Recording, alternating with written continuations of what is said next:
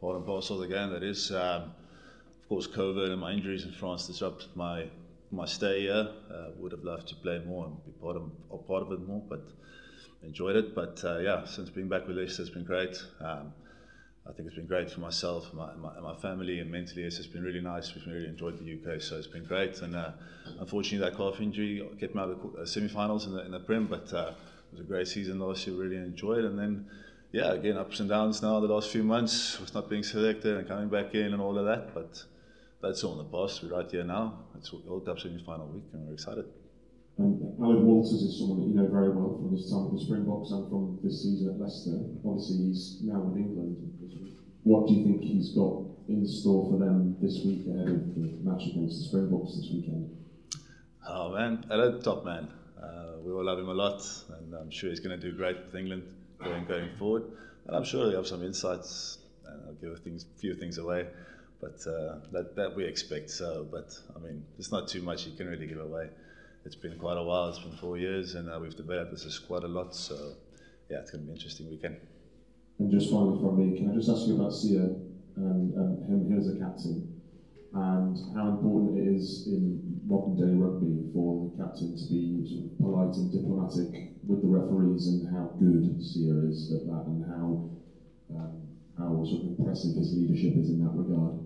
Yeah, I think I mean Siya has grown immensely over the years um, as a person, as a player, and, especially as a captain. Um, we've always been a good leadership group within the squad that always supported him, but he's uh, he's really just stepped up into a new level, and he's a he's an unbelievable captain. He's inspirational, um, and it's all real. Nothing's nothing's fake. He's a he's a friendly guy. He's an inspirational guy. It just comes naturally, and that's why we follow him. Because there's nothing fake about it. He's an honest, true man, and uh, it's a great guy to play for.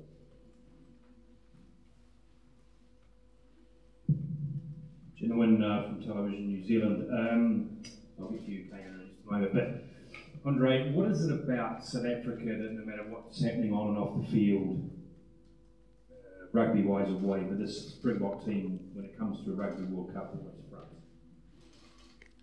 Man, it's, it's just, uh, I don't know, it's just the way we brought up. We love it. Um, it's not always been easy for a lot of our guys in our squad growing up. So when we get to this position and get to this point where there should be a lot of pressure on us, we, we, we refer back to it a lot. This is not really pressure. This is this is more privilege to be a part of these occasions. And um, so it sums up the South African mentality. Do you think?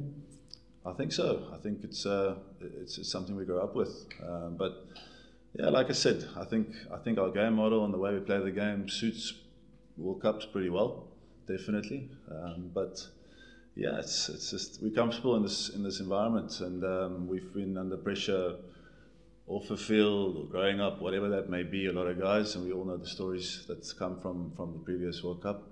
Um, but it's something as a group we just enjoy it. We Really, just enjoy the pressure. Uh, we we always say it's a privilege to have this pressure on our shoulders, playing for our country, and uh, we just enjoy it. And I can ask you when you when the calf injury uh, and the team selection, how close was that? Was that uh, and how disappointed were you if you were disappointed um, not making the initial selection? Uh, yeah, of course, uh, very disappointed. But um, no, it was a, it was a tight call. Um, it was a time sensitive thing. Uh, we pushed we pushed our hardest. We tried our best, but I was just a couple of weeks probably just too late to show the show the coaches that I was fit enough. So it was a very very disappointing time, of course. But uh, yeah, everything worked out. And unfortunately for Malcolm, massive loss for us, but gave me an opportunity again to come back. So yeah, well, it was close, but uh, just not in time.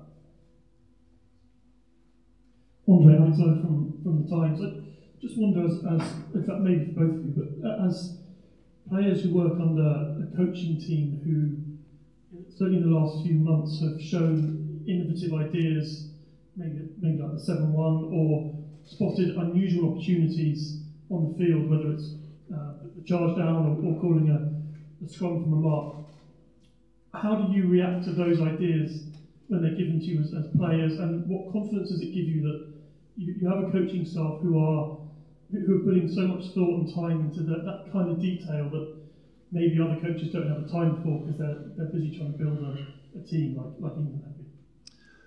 I think the key thing you said there is, uh, is the work they put in. Nothing that they do is just for, for, for no reason. It's all thought of, it's all meticulously planned, and they've earned a, like we trust them because they've earned, uh, we, they've earned our trust over the years from what they've done and how they prepare. So when they come up with these ideas, there's no questions asked. They give us a reason why we do whatever we do, and then we just back it, and we're all in, all in, and we all just trust each other, players to coaches and coaches to players, and it's just the trust that we have in each other.